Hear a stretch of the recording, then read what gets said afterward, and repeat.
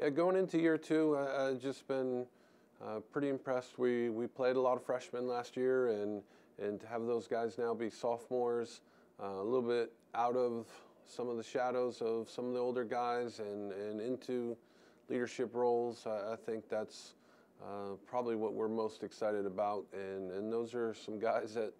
You know, certainly Phil Goss in the goal, and, and Luke McCaleb and Jack Niffin at attack. I mean, some pretty key key roles, key people, um, you know, that, that really emerged and, and played a, a big, big part last year. So I think the biggest factor uh, for success for us in, in 2018 is uh, we talked about it a little bit, you know, our, we have no returning All-Americans, we have a couple All-League guys, but, um, you know, I think our, our guys have really embraced that um, with a chip on their shoulder and, and they're ready to, to attack a little bit different than, than years past where, as I said, we had some, some big names, some big resumes returning.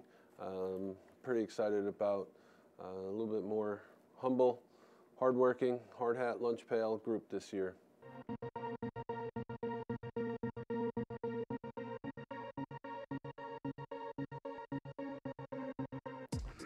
Yeah, Phil's um, a pretty pretty interesting guy. I mean, he stayed on campus after his freshman year, which is uh, pretty unique. He had a great job um, working working on campus, and and as a goalie, stayed in and, and just went to work and, and put on 25 pounds of muscle when at his position he, he probably doesn't need that for any other reason other than uh, to emerge as a leader, to emerge as as a guy who's really uh, demonstrating that work ethic and that toughness we're talking about. And, and so I think Phil's been a great reflection of, of everything we've been talking about and that growth in year two. And, and he's done it literally and, and figuratively. So, um, you know, and, and clearly at, at, times last year as a freshman, he carried us and, and he was the reason we had a chance to to win the league games we won, and and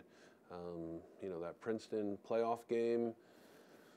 We struggled pretty hard on the faceoffs, and but we just kept getting stops. We just kept, you know, certainly the goalie gets a lot more of the credit than he always deserves, but you know he's a big reason we're getting those stops, getting the ball to the offense, and and able to to score the goals we needed to to win that game.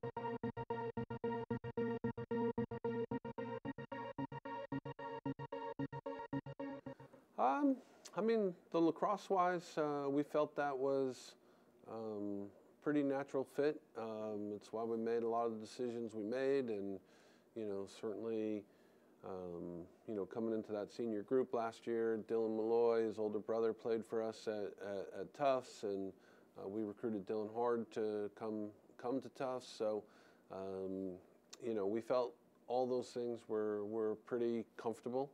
Um, so honestly, the answer is probably more the family stuff and and getting our family. We were pretty settled in into into Boston. My wife and I were high school sweethearts. She went to BC, got her law degree from BC, so we were pretty pretty rooted up in up in in the Boston area. So um, you know, going into year two and having all that stuff settled, and and my wife loved Rhode Island from the beginning our kids, you know, it was a pretty big change for them. And, and so now that they're settled into the school, settled into their sports, and, you know, it's just really uh, freed me up to make sure focus is, is where everything it needs to be.